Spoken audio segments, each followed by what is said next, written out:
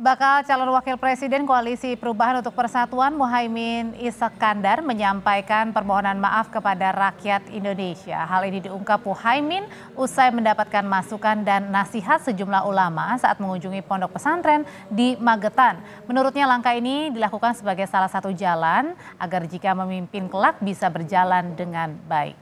Ingat tadi meneruskan itu dari tempat pesantren Al-Fatah ini saya mohon maaf kepada seluruh rakyat Indonesia, kepada bangsa ini, kepada seluruh warga Nadiin apabila selama saya berkomunikasi, memimpin PKB, memimpin DPR, terdapat kesalahan dalam ucapan, dalam eh, kalimat-kalimat yang mengganggu perbedaan dan menjadikan konflik. Saya mohon maaf sejak sekarang, semoga saya bisa uh, menjaga dua perintah beliau itu pemersatu, yang kedua tirakat. Tirakat itu artinya menghayati penderitaan yang dirasakan oleh rakyat.